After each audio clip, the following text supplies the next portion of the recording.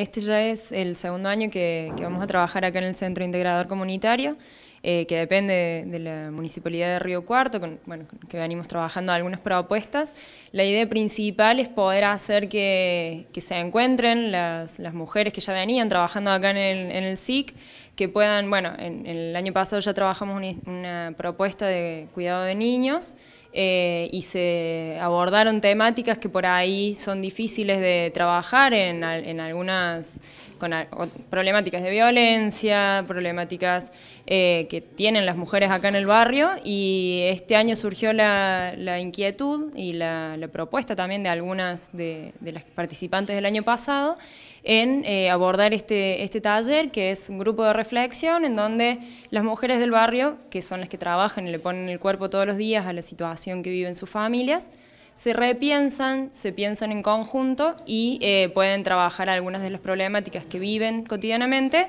entre todas, eh, con algunos profesionales por ahí guiándoles esas instancias de reflexión y obviamente, bueno,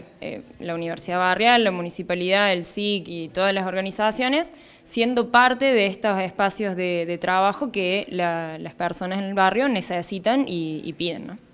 En los últimos años, con un rol de la universidad en los barrios, con una fuerte presencia institucional, pero ¿dónde está la gente? Sí, tal cual. Siempre la idea es poder hacer que las propuestas de talleres o de, como en este caso de un grupo de reflexión, surjan de los vecinos de los barrios, surjan de los propios actores del barrio, eh, poder trabajarlo en conjunto, poder abordarlo eh, en, conjunto justamente y ver de qué manera eh, se arbitran los medios para poder encarar estos, estos procesos. Siempre el trabajo que se ha hecho es de esta manera y hemos tenido muy buenos resultados y siempre se han sumado nuevas organizaciones y nuevos actores. Entonces, indica que por ahí el proceso que venimos llevando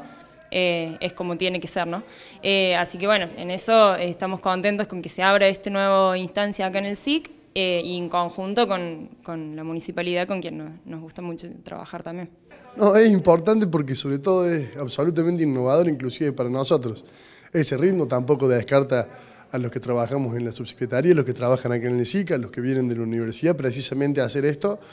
y es un punto de encuentro que va buscando un espacio de realización propio y un espacio de promoción propio, lo cual es sumamente importante porque demuestra la productividad que tuvo en el ámbito de las personas que lo componen. Así que eso es una alegría muy grande para nosotros también. Es una alegría muy grande poder abrir este espacio, eh, este espacio de reflexión, como se llama, un espacio de reflexión donde las mujeres van a pensarse. Eh, así que estamos muy, muy contentas, eh, nos parece muy importante que las mujeres tengan estos espacios, además acompañadas de profesionales, dándole todo un encuadre y un marco profesional para que, bueno, entre ellas puedan también acompañarse en las crianzas de sus hijos, en los vínculos con sus parejas, con sus padres, eh, porque hay mujeres de todas las edades dentro de ese grupo que, se ha conformado ahora para este, eh, para este taller. ¿Y ese acompañamiento con profesionales cómo se da en este caso? Y es una ronda,